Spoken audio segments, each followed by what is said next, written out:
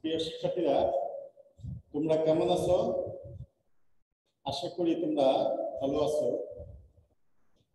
আজকে আমি তোমাদের নবম, দশম শ্রেণির জীববিজ্ঞান বিষয়ে প্রথম অধ্যায়ে সুপার কিংডম ইউ ক্যারিওটা নিয়ে আলোচনা করব।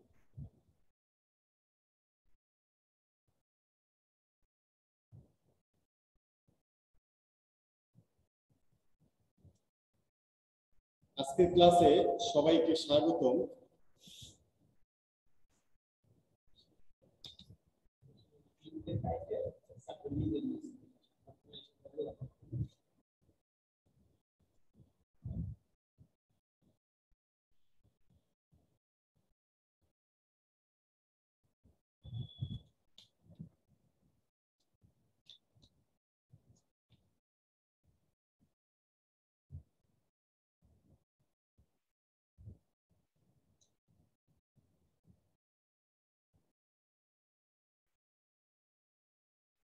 আমি আবুল কাশেম মোহাম্মদ আশরাফুল্লাহ, সিনিয়র শিক্ষক, এস এম মডেল সরকারি উচ্চ বিদ্যালয় গোপালগঞ্জ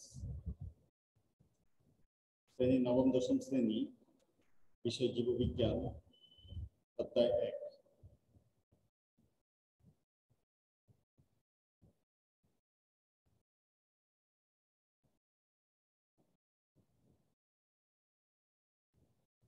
বিষয়, সুপার কিংডম, ইউ ক্যারিওটা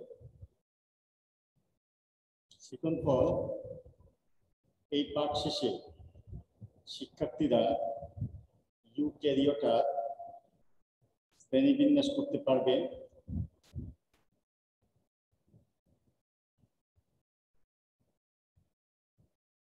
বৈশিষ্ট্য অনুযায়ী চারটি রাজ্য শনাক্ত করতে পারবে।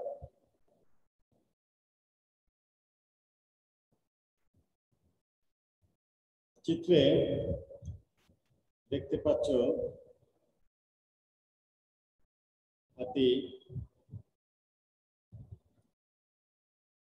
এগারিকাস অ্যামিবা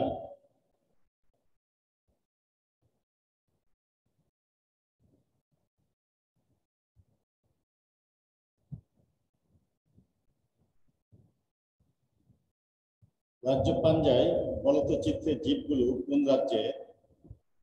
চিত্রের জীবগুলোর নিউক্লিয়াস কি সুগঠিত?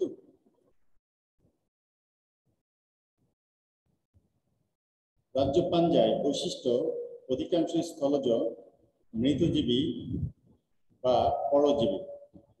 দেহ এককোষী অথবা মাইসেলিয়াম সরু সুতার মতো অংশ দিয়ে গঠিত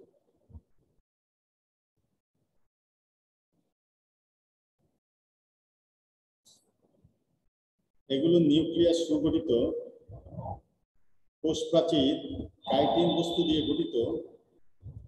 খাদ্য গ্রহণ শোষণ পদ্ধতিতে ঘটে।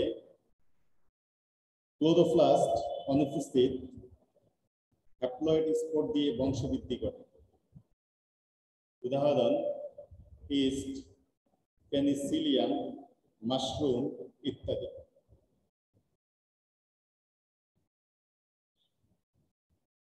চিত্র দেখে বলো, কীভাবে বংশবৃদ্ধি করছে?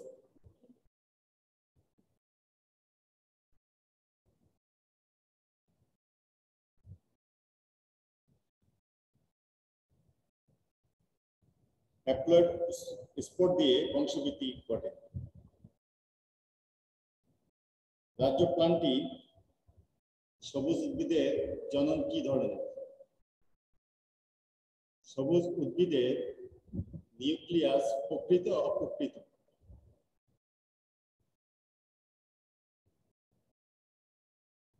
এরা প্রকৃত?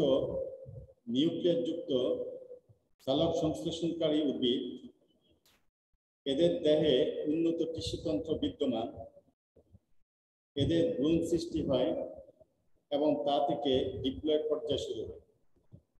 প্রধানত স্থলজ তবে অসংখ্য জলজ প্রজাতি আছে। এদের যৌন জনন অ্যানাইসোগ্যামাস